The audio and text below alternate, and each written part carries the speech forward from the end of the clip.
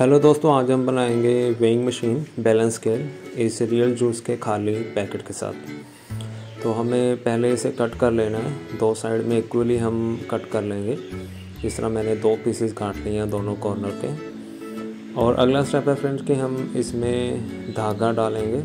उसके लिए हमें चाहिए होगी सुई। और थोड़ा सा हमें धागा चाहिए।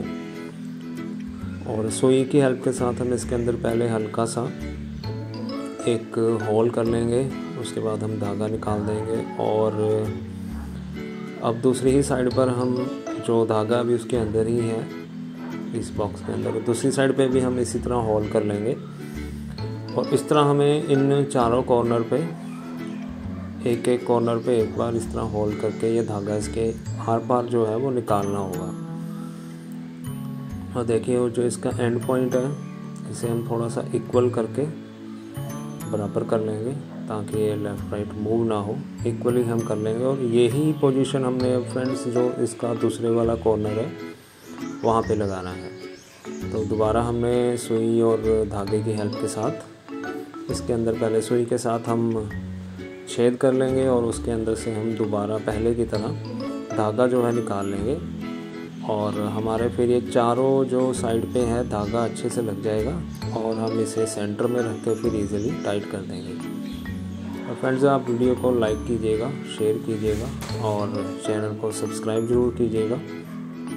तो ये देखिए दोस्तों, चारों साइड पे अब ये धागा जो है वो इसके अंदर निकल गया निकल के आर पार होके एकदम सेट हो गया और इसमें सेंटर पोजीशन में रख के अब इन चारों जो थ्रेड हैं, चारों धागे हैं, इसे मैं यहाँ पे अच्छे से टाई कर दूँगा। एक्स्ट्रा धागा हमें इसके यहाँ से कट कर देना है। और अब हम यहाँ पे इसे अच्छे से टाई कर देंगे। और देखिए दोस्तों, अब ये रेडी हो गया है पहला पार्ट और इसी तरह हम दूसरे वाला जो कॉर्नर था दूसरे वाला पार्ट है, वो हम रेडी कर लेंगे। और हमें चाहिए होगा दोस्तों, एक आप कोई भी स्ट्रॉ ले सकते हैं पेंसिल ले सकते हैं, जिस तरह मैंने ये लकड़ की, ये स्टिक ली है। तो इसके कॉर्नर पे हम इसे अच्छे से धागे की हेल्प के साथ ही, या फिर आप चाहें तो सेलो टेप लगा के भी इसे यहाँ पे अच्छे से टाई कर सकते हैं, अच्छे से बाँध सकते हैं। और मैं इसे यहाँ पे इसे टाई कर रहा हूँ, बाँध रहा हूँ धागे की हेल्प के साथ। दो तीन बार आप धागे को इसके ऊपर से घुमाइए और अच्छे से इसके ऊपर टाइटली काट मार दीजिए।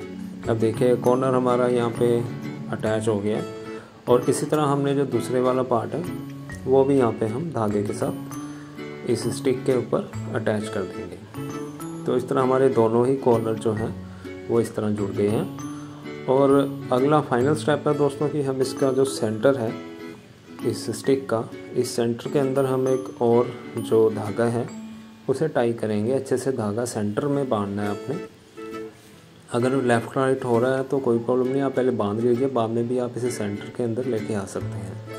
तो देखिए, मैंने अच्छे से यहाँ पे सेंटर में इसके ये धागा टाई कर दिया और देखिए फ्रेंड्स हमारा अब जो वेइंग मशीन का बैलेंस स्केल ये मॉडल है वर्किंग मॉडल ये हमारा रेडी है।